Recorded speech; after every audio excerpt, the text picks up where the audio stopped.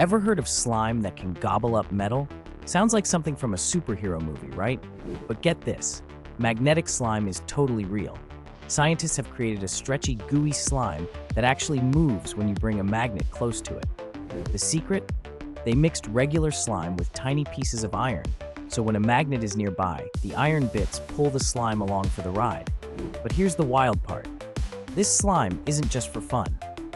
Scientists hope it can slither through tight spaces inside machines, or even inside our bodies, to grab objects or fix problems. Imagine a tiny blob of slime saving the day by picking up something that's stuck deep inside a machine, or even helping doctors remove stuff from inside the human body. And wait, it gets weirder. If you put a magnet on one side of a table, the slime can crawl around obstacles to reach it, almost like it's alive.